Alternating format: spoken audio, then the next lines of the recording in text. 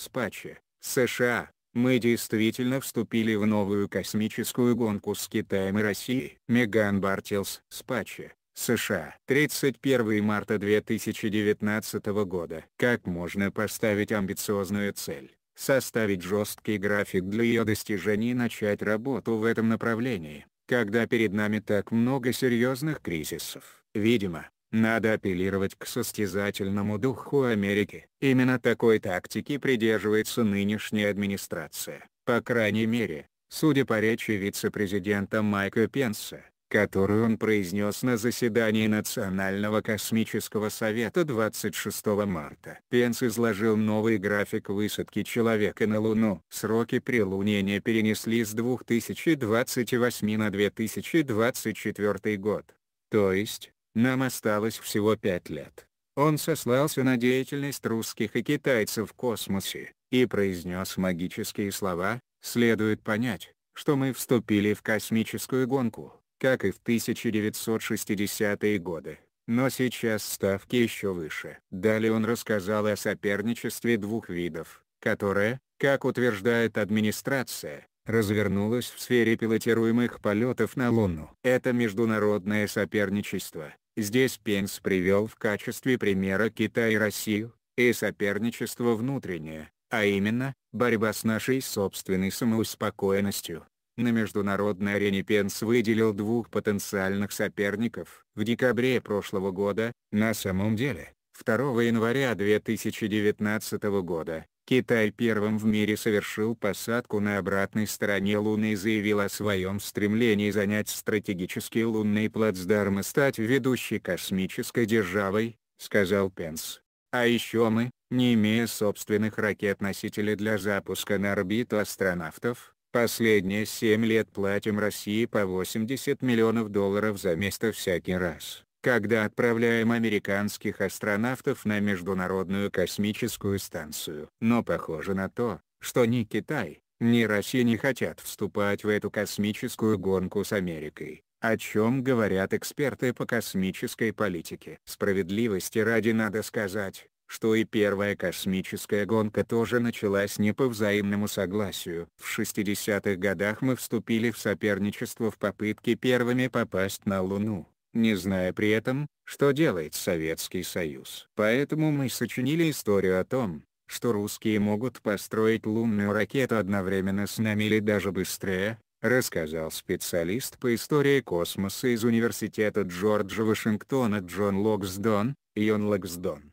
Но оказалось, что они отстали от нас на два с половиной года, и никаких реальных шансов у них не было. Состязаться ни с кем на сей раз у США вряд ли появятся серьезные соперники по полетам человека на Луну. Причина проста, те конкуренты, о которых предупреждал Пенс, не проявляют никакого интереса к скорейшему достижению этой цели. Русские ничего не говорят о своей заинтересованности в пилотируемых полетах на Луну, сказала политолог Венди Уитман Коп, Уинди Уитман Чоп работающая в университете Камерона в Оклахоме.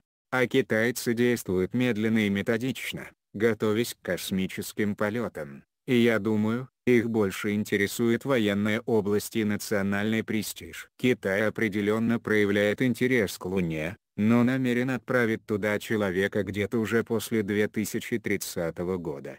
То есть, даже позже прежних сроков НАСА. Сейчас он нацелил свои усилия на решение иной задачи, на создание космической станции Тиньгун-3. Первый модуль этой станции планируется запустить в следующем году. Они не очень-то спешат на Луну, заявил директор по планированию программы с Фонда «Безопасный мир», Сечури World Foundation, Брайан Уиден, Бриану Ииден.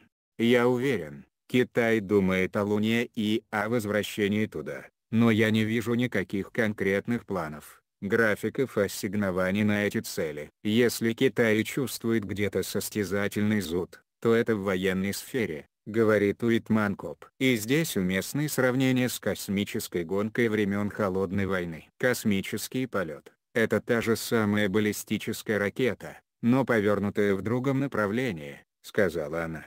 Наверное, никакой космической гонки не случилось бы, если бы мы не захотели устроить мирную демонстрацию своего военного потенциала. В любом случае, Китай не готов к настоящему соперничеству, говорит Уиден. Все, что они делают сейчас, США уже делали в прошлом, заявляет он. Китай просто догоняет нас. Что касается России, то даже если она хочет вернуться к космической гонке времен Аполлонов, у нее изначально слабые позиции. На мой взгляд, это невозможно, сказал Локсдон по поводу соперничества Китая и России с США.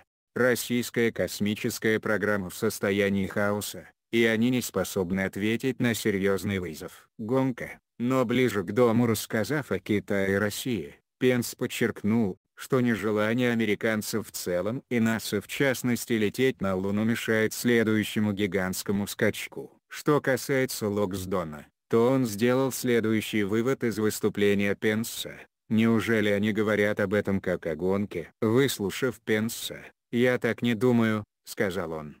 «Мне кажется, он говорил о нашей собственной медлительности, а не о том, что надо ускориться из-за какой-то гонки. Думаю, ему просто нужно было для проформы упомянуть, что Россия и Китай тоже проявляют большой интерес к серьезной работе в космосе, и сказать, что мы должны сделать это лучше. Кому-то может показаться, что составление агрессивных графиков полетов на Луну – это такой тактический прием, имеющий целью выбить из правительства больше денег на эти усилия, говорит Уиден. Безусловно, кое-кто хочет убедить нас в существовании космической гонки, сказал он.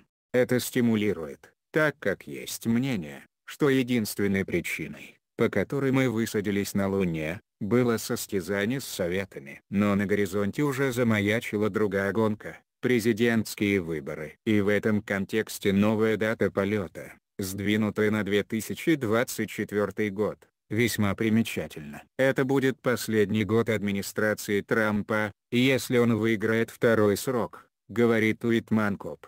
И это для нее один из способов оставить весомое наследие. Материалы на СМИ содержат оценки исключительно зарубежных СМИ и не отражают позицию редакции на СМИ.